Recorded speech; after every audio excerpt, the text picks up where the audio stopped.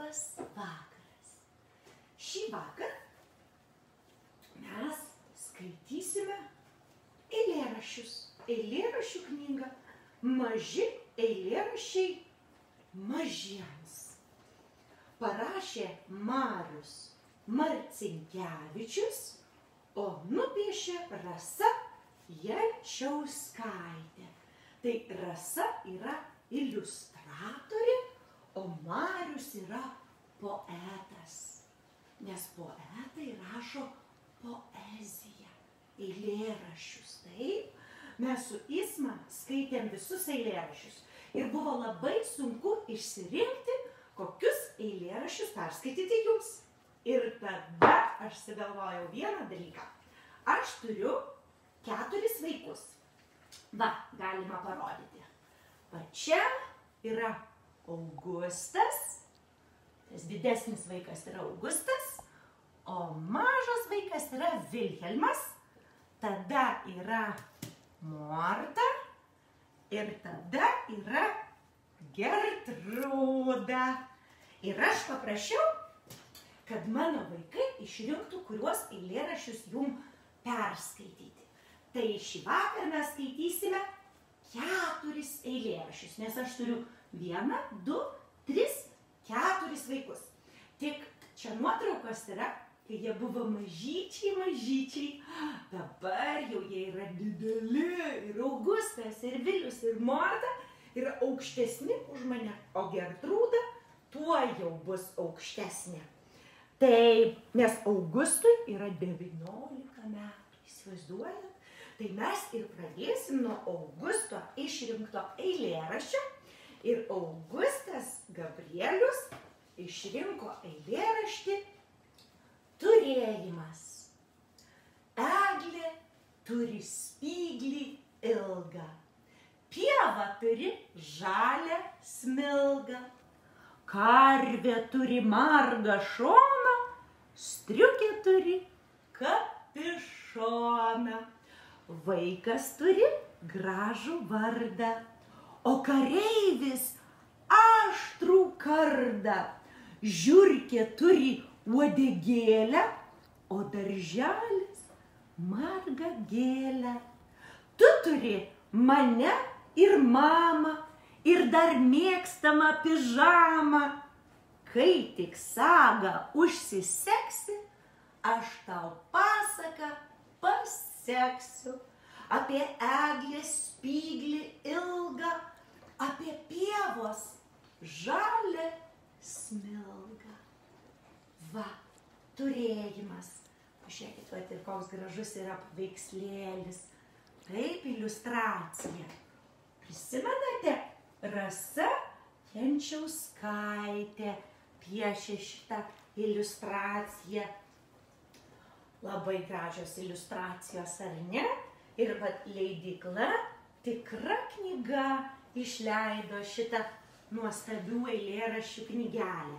Tai va, Augustas yra mano vyriausias vaikas. Tai Augusto Gabrieliaus buvo eilėraštis turėjimas. O dabar skaitysim Vilhelmo Konstantino išrinktą eilėraštį. Jam dabar yra 17 metų. Ir jisai išrinko eilėraštį Šamas. Net ir šamas turi namą. Net ir šamas myli mamą ir močiutę, ir senelį, ir katytę, ir šunelį. Šamas į mokyklą eina, traukia linksmą šamo dainą. Apie gražų šamo namą, apie puikią šamo mamą. Va, žiūrėkit, koks šamas. Ir turi nuostabų namą. Nes šamas yra žuvis, taip? Turi ir namą, ir puikią mamą. taip? Va, trečias eilėraštis yra... Oi, palaukit, tuoj mes surasim. Mortos eilėraštis, tik aš ištraukiau lapuką, tai man reikia pasižiūrėti, ką čia mortelė buvo išrinkus prisiminti. Nes Morta buvo išrinkus irgi eilėraštį, bet aš kai traukiau lapą, tai ištraukiau abu. Nei, nei, nei. Ne musė, ne nikštukas, ne vienas, ne pasenelė, ne keulių. Liūdėsys, man atrodo, Morta buvo. Ne, bėda, va, prisiminiau. Morta buvo išrinkus bėda. Tai va čia yra Morta ir Mortai, Mortai Sofijai dabar yra 14 metų. Tai va, Morta Sofija išrinko bėda.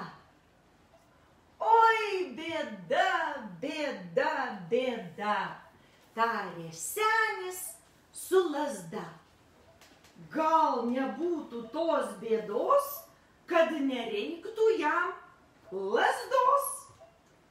Mes nupirkom seniui žirgą, juoda, juoda kaip naktis, tarsi žvaigždės spindi akys, karčiai dega kaip ugnis. Senis ant to žirgo joja, karčiai vėjai plevesuoja, o varpeliai dzinguliuoja. Dzingu, dzingu, dzingulingu ėmė senis ir pradingo. Va, pažiūrėkit, koks senis štai su lasda o čia žirgo karčiai va kaip plevesuoja.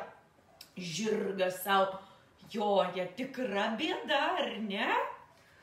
Ir dabar mūsų paskutinis šiandien eilėraštis jį išrinko Gertrūda. Gertrūdai dabar yra 11 metų. Ir Gertrūdos eilėraštis vadinasi begemotas.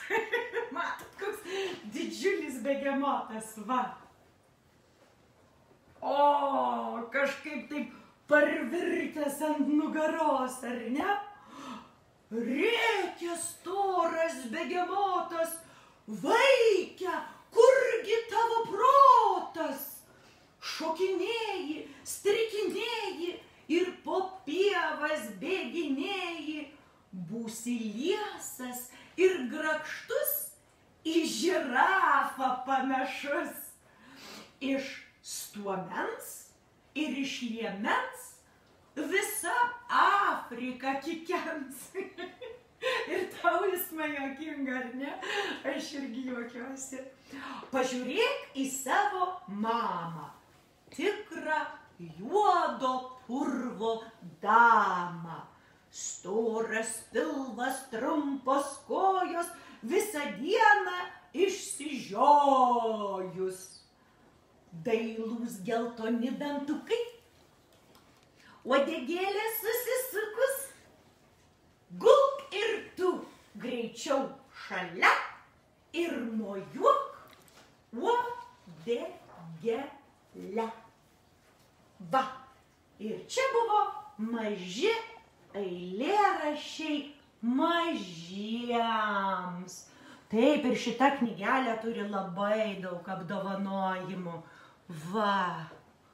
Ir 2019 ir 2018 metais, na tikrai, gražiausios knygos premija, knygos meno parodos diplomas.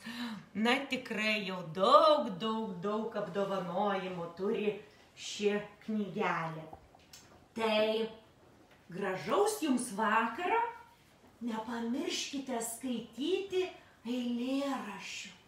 Labai svarbu, aš labai džiaugiuosi, kad ir mano vaikai va šiandien perskaitė šią knygelę, kad išrinktų jums po eilėraštį. Tai mes su Įsma šiandien patinginiavome, mums net nereikėjo išrinkti. Tai mes sakome visiems ačiū, kad klausėte